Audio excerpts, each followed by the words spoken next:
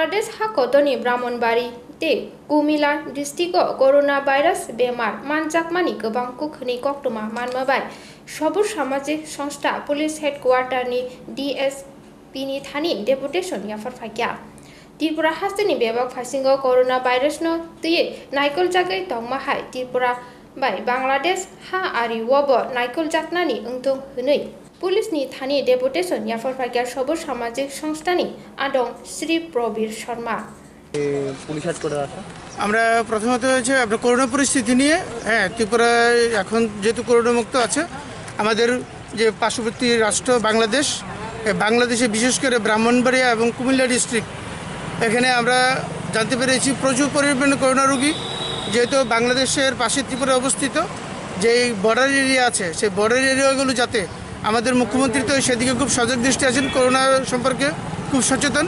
তার পাশাপাশি আমরা ত্রিপুরা পরিষদের যে ডিজিপি আছেন ওনার উদ্দেশ্যে আমরা একটা ডেপুটেশন দিতে এসেছি। উনি যাতে অন্তত আমাদের ত্রিপুরার যে বর্ডার এরিয়া আছে সেই বর্ডার এরিয়াগুলো যাতে ভালো করে একটু নজর দেওয়া হয় পুলিশের মাধ্যমে সেটা জানাতে এসেছি। এটাই আমাদের সবুজ সামাজিক সংস্থার পক্ষ থেকে আজকে আমরা এই ডেপুটেশনটা দেবো। নাম?